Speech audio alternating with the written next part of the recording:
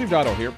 Today I want to spend a little bit of time talking to you about organizing events. Now, I've talked to you in the past about Doodle. We did a video on Doodle, which is a great tool for scheduling, for getting a whole group of different people together and finding a common time that we're all available. It's terrific for planning business meetings or, or lunches with your friends.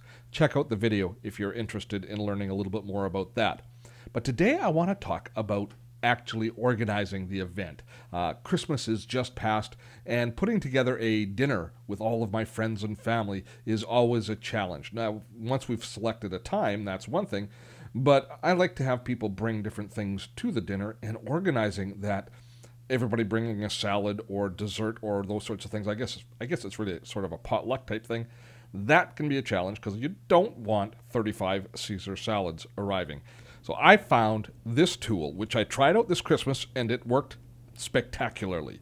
It's called Sign Up Genius. It's a free online uh, website, uh, basically a Web 2.0 app that allows you to basically build events. Now, they've got a whole series of tools and features. If you click on their uh, Build Sign Up, uh, button here or just actually hover over it, you see the different categories of, of, of, events that they can create sign up forms for. Now, you can use this uh, as simple as an online sign up sheet saying who's coming to the meeting, who's coming to the event, and then allowing people to sign up for the event. And that's at its most simple and basic uh, level. And they've got all sorts of templates for it. Like if you're if you're having a game or like you want to find out who's going to show up at bowling, you can set it up using one of their templates that they have here.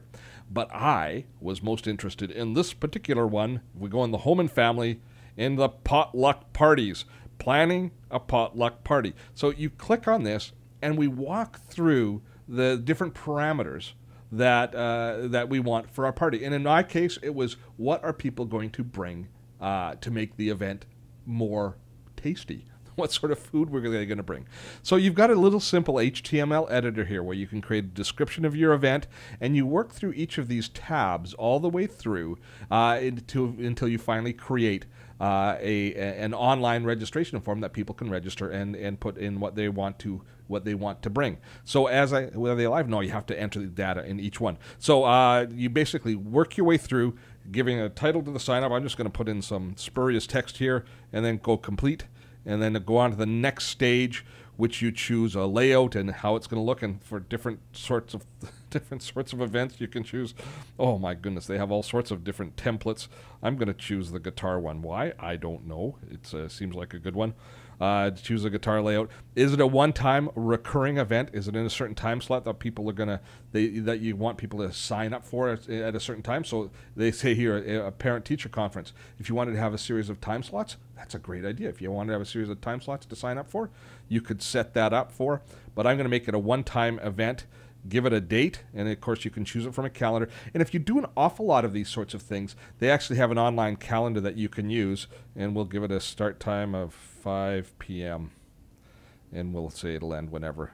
We won't give it a location, a specific location. Oh, do they want it? Uh, but not a minute value. Oh, excuse me.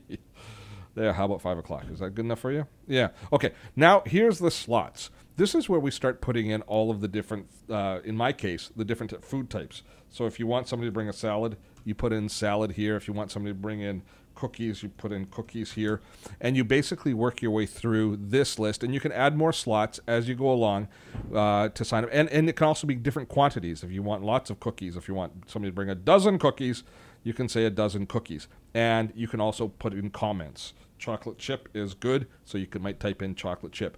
Once you've done that, you go through and finish off the different settings, which are the contact information, how basically how it's going to be sent, and then you preview it and you get to see exactly what your event is going to look like. Now, this one looks ridiculous, I will admit. Uh, but here, let me take you back to what mine looked like, the actual one for Christmas. And as you can see, I chose a template here for the, uh, which is a, a, plate and knife and fork, so it looks like it's a dinner.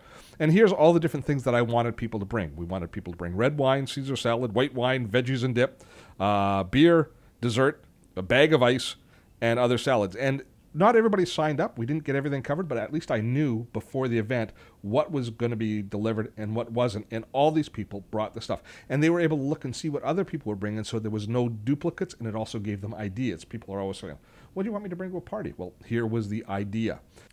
Once you have your event completely built with all of the different things that you want people to bring built and saved, you then email this to your to your invite list. Now you can import your email addresses into the application itself, or the way I did is I just emailed one invitation to myself and then and then took that invitation and forwarded it to all of my friends. There's a there was a web link that brought people right to this page so they could sign up. Everybody liked using it. Most people took advantage, and our party ended up being a big success as a result. I hope this video has been useful. We do these videos each week here at Dotto Tech, and if you like them, why don't you give us some props? Uh, click on a like and tell the world that Dotto Tech teaches you things that are useful. I'm Steve Dotto. We will see you next time right here.